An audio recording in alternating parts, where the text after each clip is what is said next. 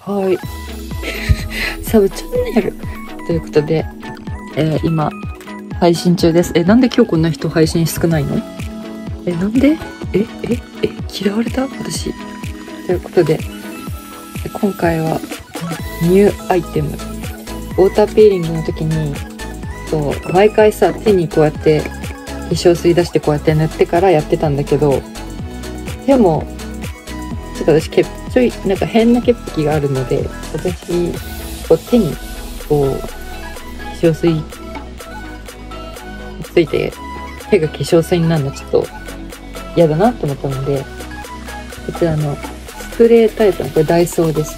ダイソー100円、こうやって、顔にシュッシュッシュッシュッって、こう、ここにね、あの、けお顔が、顔が、見て顔が、顔がさ、まあ、これに、ちょっとバッテリーが、バッテリーが20%なんだけど、まあ、これで、顔に、